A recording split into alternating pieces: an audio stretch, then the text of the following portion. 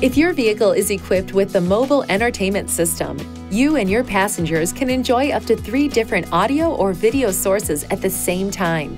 The system components are the front center display screen, the two rear displays on the back of the front head restraints, a remote controller, two headphones, and the rear auxiliary USB and HDMI ports on the back of the center console. The front display is not available while the vehicle is moving, and the remote controller cannot be used in the front seat.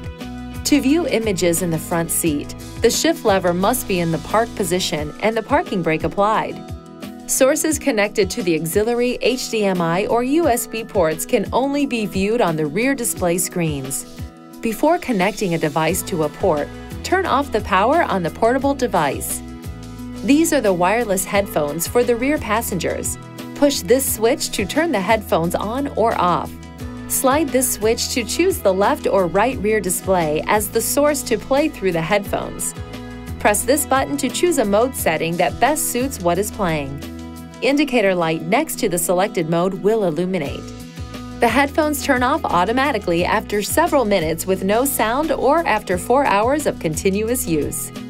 To turn on the rear displays with the remote controller, Press the power button and then slide this switch to select the left or right display.